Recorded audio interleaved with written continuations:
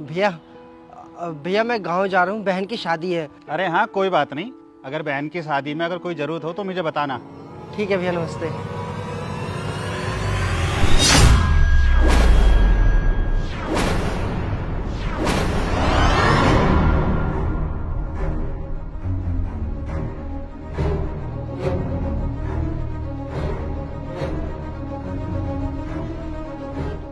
ये कंगन तो पूनम का है। तेरे पास कैसे आया? साहब मुझे नहीं पता। साले हमारे घर में रहकर हमारे घर का खाना खा के हमारे घर में चोरी करता है तू। देखिए साहब मुझे चोर मत कहिए और मैंने कोई चोरी नहीं करी। ये कंगन और ये पैसे साफ़ साफ़ बता रहे हैं कि तू धोखेबाज भी है और चोर भी। भैया आप इसकी बात पे भरोसा मत करो। साफ़ साफ़ दिख रहा है कि इसने चोरी की है। साहब आप मेरी बात पर यकीन करो मैंने कोई चोरी नहीं करी। देख नितिन सच सच बता दे ये तेरे पास कंगन कैसे आए? तू हमारे पास इतने सालों से काम कर रहा है मैं तुझे कुछ नहीं कहूँगा।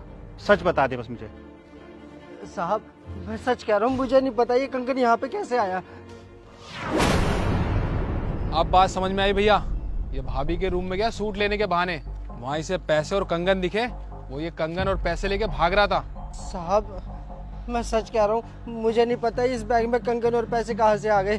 मुझे तो मेम साहब ने ये सूट दिया था। अबे तू कहना क्या चाहता है? भाभी जी ने इसमें कंगन और पैसे रखे हैं। देख तेरी चोरी पकड़ी गई है। अब तू सच बता रहा है या मैं तुझसे निकलवाऊं? मैं तो कहता हूँ उसे पुलिस के हवाले कर देते हैं। रुक। मैं अभी पता करता हूँ ये सच बोल रहा है या झूठ? मैं पूनम से पूछता हूँ कि उसके कंगन कहाँ गए। पूनम! क्या है? क्यों चिल्ला रहे हो?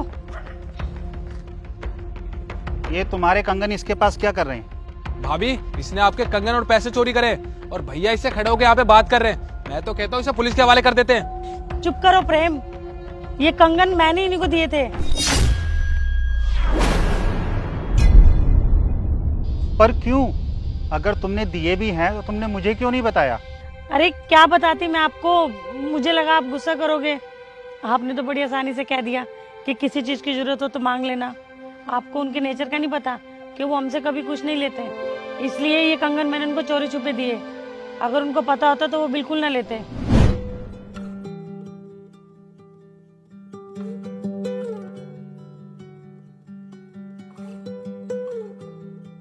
ये कंगन और पैसे नितिन को दे देती हूँ। उसके काम आ जाएँगे। अरे नितिन, कितने बजे की ट्रेन है? मेम साहब सात बजे की ट्रेन है। बस वो वही निकल रहा था स्टेशन के लिए। अच्छा तू जल्दी निकल जा और जाते जाते ये ले जा। इसमें क्या है मेम साहब? अरे ये तुम्हारी बहन के लिए छोटा सा तोहफा है। मैंने उसके लिए एक सूट सिलवाया था इसे ले जाओ। सच में मेम साहब जब वो देखेगी ना तो वो बहुत खुश हो जाएगी। ध्यान से जाना और किसी भी चीज़ की ज़रूरत हो तो बताना। अच्छा मेम साहब।